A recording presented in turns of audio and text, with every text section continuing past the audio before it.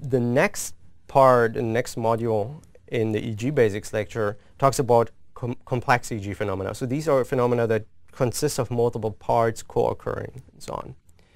Here is a pretty interesting little plot. Um, from EEG of a person, it's a, it's a single 10 second slice. Um, the raw EEG looks somewhat like this on multiple channels, you know, a couple occipital channels, a few central channels and so on. It's very much the same signal, okay? Uh, so you see a spike here, it's in many channels, etc. The oscillations show up in multiple channels, although they are slightly weighted differently. And actually there was a task, you know, they got a penalty, then they got something wrong, wrong, correct, they got a bonus for being correct, they got a couple more correct and things like that. So there's a lot of interesting structure in this experiment. And here is the signal separated into independent components or statistically independent components, which basically sum up to generate the signal. Um, and the way in which this basically works here is you have a signal, and by the way, these signals all look different, you know. Um, so you have one which is um, kind of spiking uh, at whatever couple seconds or so rhythm, and this signal primarily is present in these frontal channels. And it turns out it's an eye effect. It's actually blinks um, that happen here. And here's a related one, has almost the same time course, slightly different, uh, has a similar projection, also slightly different. It's another eye component. In fact, it might be the other eye. Perhaps for this person, the two eyes weren't exactly in sync, and that's why. Um, although the maps would be a di bit different, so it's probably just two different related blink processes. then we see oscillations in different frequencies. So the most prominent here is this alpha one. Uh, this, you know, you'll learn what alpha looks like uh, in raw EEG just looking at the time scale and the burstiness of the signal in a sense. It comes from posterior cortex. It's tangential, so uh, that's an interesting signal. It's also locked to the events. You see this? It happens basically right between the events. Perhaps when the person just uh, sort of knows, okay, there's not going to be anything happening for the next half second, I zone out in a sense subconsciously. Here's another one. It um, uh, it's a theta oscillation, a lower frequency. It ramps up during this correct phase and so on. So there's a tremendous amount of structure. And other things like the ECG, you know, the heartbeat signal is also in there, has an interesting projection pattern, you know, looks somewhat weird, very deep. If you fit a dipole, it's extremely deep. It's probably in the brainstem or something like that. Uh, even though it is not really generated by a brain dipole, generated by your arteries and so on. And here's EMG, this muscle, muscle activity. It, you see where this comes from? It's, um, it's a temporal, um, or basically at the side source. It's a very, very focal projection, very small scale. And it's because the muscle is right under the skin. Uh, that's why it's so sharp. And there are lots and lots of positions where these can occur, basically all around from the ears all the way back. There's even muscles up here, as you know. And here you see a really clean textbook um, time series of spiking of muscles.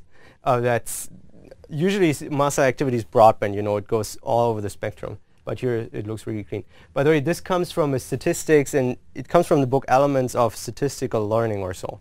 Um, which is really nice open source textbook on machine learning and statistics. Okay, so um, here's a, a picture of um, activity that happens between multiple signal components.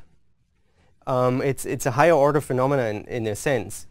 Uh, you have two components, you know, the red one and the blue one, and sometimes their peaks are in sync, they are coherent, and at other times they are, say, exactly out of phase. And at other times there's something happening in one time series and nothing in the other. And so there's moments when they have high power at the same time, so that's already interesting. And then there's cases where they're phase locked and other cases where they're out of phase. Like here it's probably 90 degrees and so on. And that's phenomena. You can observe it and you can assign interpretations to it. You can see if, you, if that contains information or not, like the phase relationship between two time series. Um, and it can be very interesting. But to get there, you already need to have, say, the source time courses, because in the channels you don't see much like that. By the way, this comes from a simulation, but um, there's stuff like that also happening in real uh, data. And you can, can go actually a lot farther beyond mere coherence between sources. You can even look at basically directed, uh, we call it information flow or connectivity. This is um, pictures from Tim Mullen's uh, toolbox SIFT, uh, which is also being developed at the Swartz Center. You see um, things like, um, you know, say one source here kind of deriving a bunch of other sources um, in, in some statistical sense.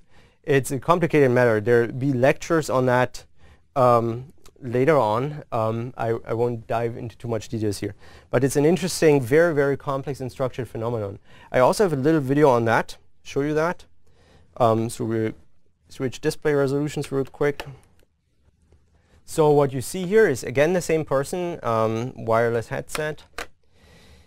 And um, from the source activity that you saw in the first video, we average activity in certain regions of interest and uh, basically time series for these regions. So it's just a time course.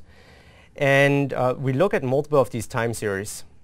And then we calculate um, statistical influences between these time series. It's basically about whether one source predicts the future his, um, uh, time course of another source. And if so, we draw an arrow in that direction.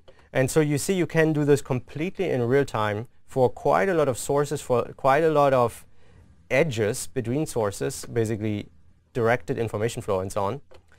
Um, you can visualize it. The slowest part here is the visualization, I'm being told. um, so, and you can run a BCI on top of these features if you want to. And in fact, we've done that for error processes. Worked pretty well. Um, so, so that's an example of things that you can do uh, with complex brain phenomena.